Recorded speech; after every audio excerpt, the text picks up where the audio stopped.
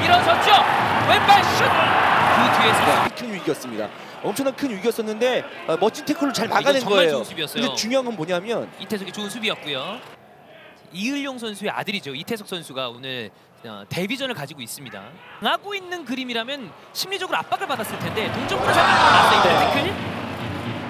태클. 오스마리 연결. 자 팔로세비치가 왼쪽으로 줬습니다. 좌측에서 크로스. 있어요. 그가 왼쪽으로 펼칩니다. 아, 이태석이 뺏겼어요. 네. 자 그러나 자, 그게- 다시 공을 끊었습니다. 저게 끝까지 해야죠. 예. 왼쪽에서도 활발한 공격을 이어 나가고 있고요. 자 서울의 공격이 왼쪽에서 이어집니다. 자 뒤에서 열려 있어요. 흘렀어요, 여러분, 슛! 들어갑니다. 분위기를 완전 바꿔놓는 슈팅. 오늘은 김지현의 슈팅도 헤더 슈팅 아, 막히긴 했습니다만 역시 고, 좋은 공격작을 보여줬었던 울산이고요. 이게 낫지 않을 거라고 생각했는데 잘 꺾어서 때렸어요. 그래서 뒤에서 때려 때려준 선수가 있는데 본인이 처리하거든요. 오히려 뒤에서 저렇게 뛰어드는 선수가 있으니까 조현우 골키퍼는 이후에 김민준 선수는 본인의 소임을 다하고 이동준과 교체됐습니다. 바로 서울의 공격이 이어져요. 자 왼쪽입니다. 이태석. 열심히 견제했던 불크스의 그렇죠. 모습이었습니다. 주고 있습니다. 예. 자 김태환 좀 살리나요? 김태환 대 이태석 크로스 자, 이태석이 깔아서 주면서 다시 한번 서울이 올라오는데요 수린 던져줬죠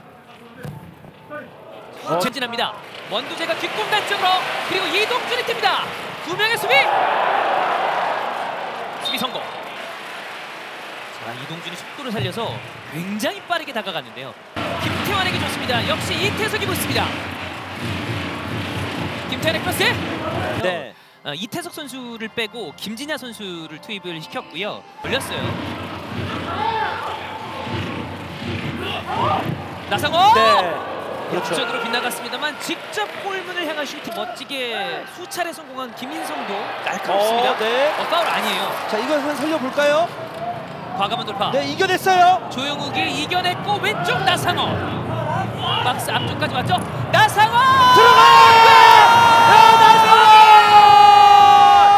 나상호의 득점. 자. 그리고 조영욱이 공을 뺏기지 않고 밀고 나가면서 공을 연결을 시켜줬고요. 그리고 나상호 선수가 강한 슈팅은 아니었는데요. 와. 기가 막힌 코스였습니다. 자 지금 이 선수들은 실점 이후에 이 이전 받고 넘어지는 상황에 대해서 파울이 아니냐를 그렇죠. 어필을